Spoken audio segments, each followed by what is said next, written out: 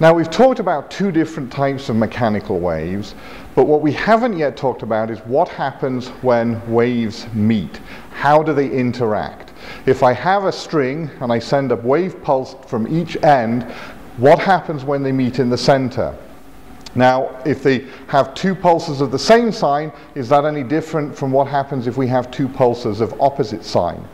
So to start with, let's have a look at that simple case and see what happens when we send wave pulses along a string.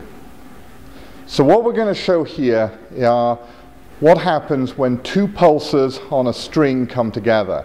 So for the string, we've got this dense metal spring which has a high mass per unit length so that the speed of the pulses is not going to be exceptionally high. Now what we're going to do to start with is we're going to send two pulses with the same sign along the string. So look closely to see what happens.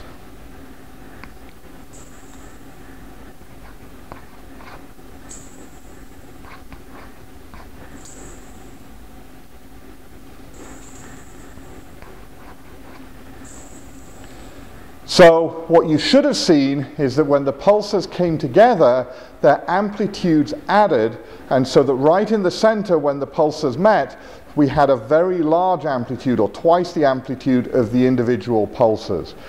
Now, look again, and we'll do it another couple of times so you can confirm that you see these two pulses adding together and then passing through each other and carrying on.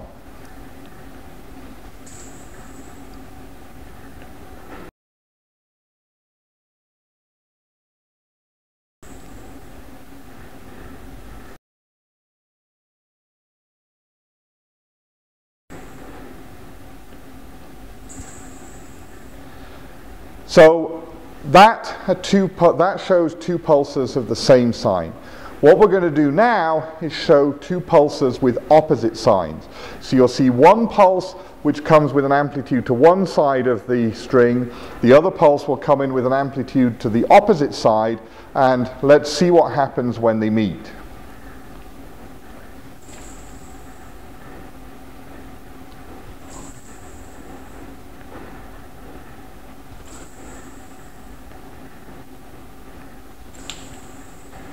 So what you should have seen there is that the two pulses pass through one another. They don't meet and cancel out and stop. But when they do meet in the center, the string almost returns to its equilibrium position. That won't be precise in this case because the two pulses that we're generating are not identical. So there won't be a perfect cancellation for that brief instance in the center. But there should be a pretty good cancellation. So we'll try that another couple of times. So look for the cancellation in the center and look for the pulses passing through one another.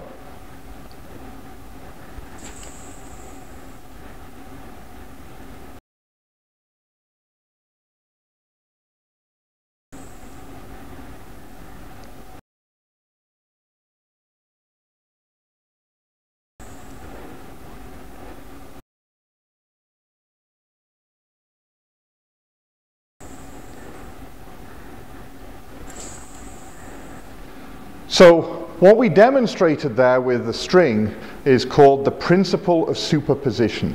When you place two waves on top of one another, the displacements add, and the net displacement is the sum of the displacements from the individual waves. So to understand the maths behind that, let's have a more detailed look at the wave equation. So here's what we saw with the string. We saw two pulses, each moving in towards one another, and as they passed through one another, we saw this large uh, amplitude pulse uh, briefly in the middle. So what's going on here? Well, here's our wave equation uh, that we're familiar with, and let's assume that we've got two solutions to it. One here which we'll call phi 1, and one that we'll call phi 2. So these are both solutions uh, to our wave equation here. So what we want to know is what happens if we add these two solutions. So if we add them together, then we're going to have phi 1 plus phi 2. So is this a solution as well? Right? Is this a solution uh, to our wave equation as well? Um, because if it is, then of course what we can do, we can always add solutions of the wave equation to get other solutions of the wave equation, which would explain what's going on here, that the sum of these two displacements gives us a third solution to the wave equation. So let's have a look at this. Well, we've got partial squared and now phi 1 plus phi 2 um, by partial x squared.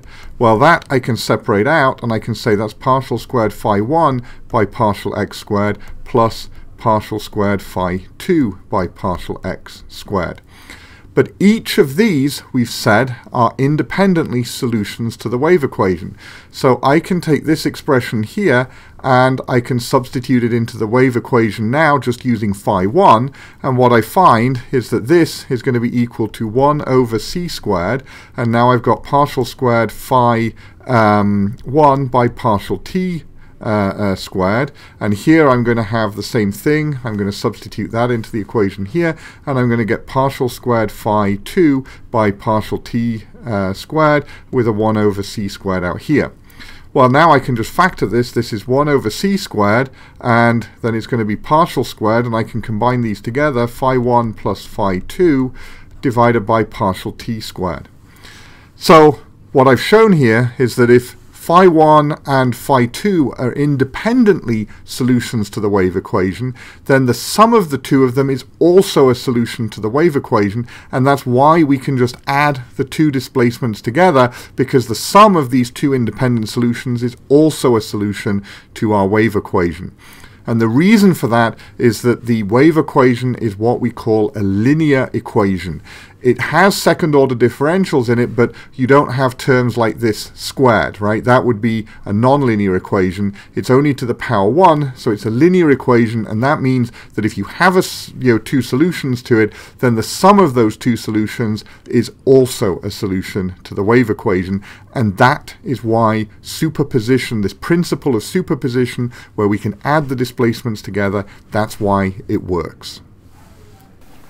So we've now seen how the linear nature of the wave equation, it's a linear partial differential equation, gives rise to this principle of linear superposition where if we want to calculate the displacement of a medium when two waves are, are, passing through that point, we can just add the displacements of the two waves together.